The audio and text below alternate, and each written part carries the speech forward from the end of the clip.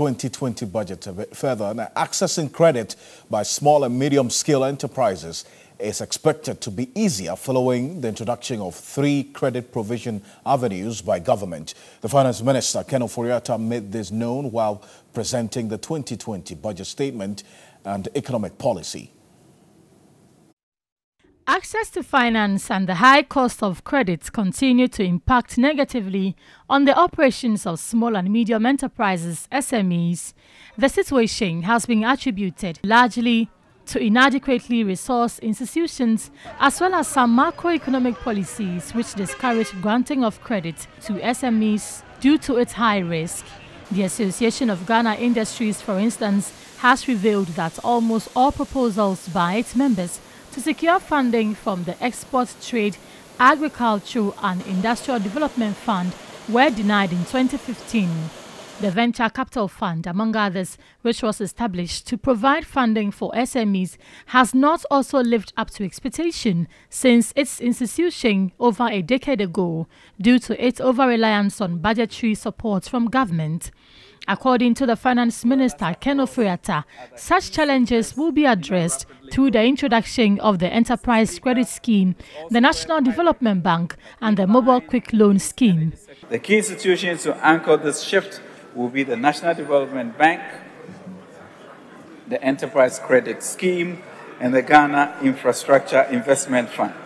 The private sector in Ghana continues to borrow at over 25%, while their competitors elsewhere are borrowing at at least 5%.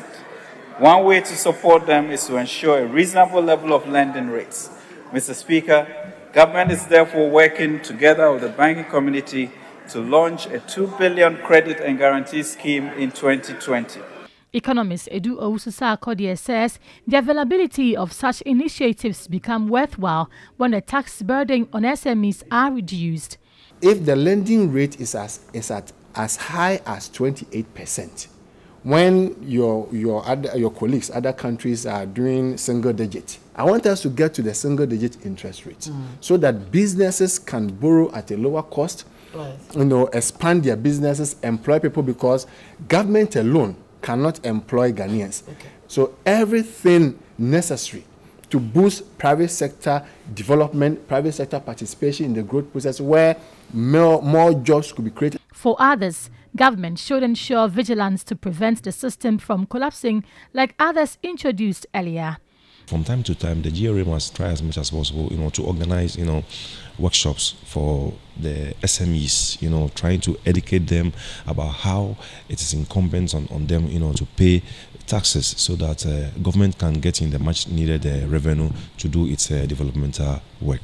All three schemes will be operational in the first quarter of 2020, with the National Development Bank commencing operation with a seed capital of 250 million cedis and the Enterprise Credit Scheme with 2 billion cedis.